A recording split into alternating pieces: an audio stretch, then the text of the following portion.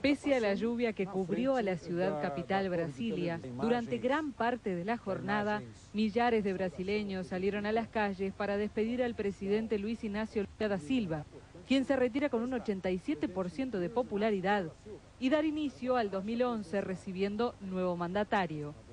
Dilma Rousseff, una economista de 63 años, divorciada y madre de una hija, ex guerrillera y presa política, hizo historia al asumir como la primera presidenta de Brasil.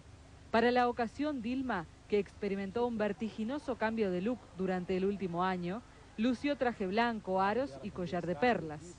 La ceremonia de asunción se inició en la catedral y continuó en el Congreso, en donde tuvo lugar la transmisión de mando. Allí, ante una sede repleta, Rousseff estrenó su oratoria emitiendo su primer discurso como presidenta de Brasil. Luego se trasladó hasta el Palacio de Planalto, sede del gobierno de Brasil, donde la esperó Lula da Silva.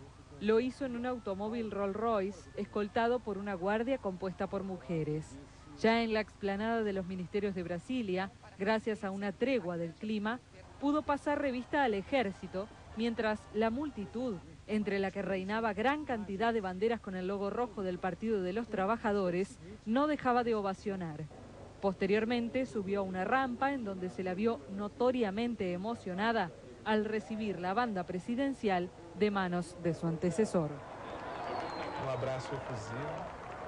Coube a dona Marisa, que é o companheiro do presidente Lula.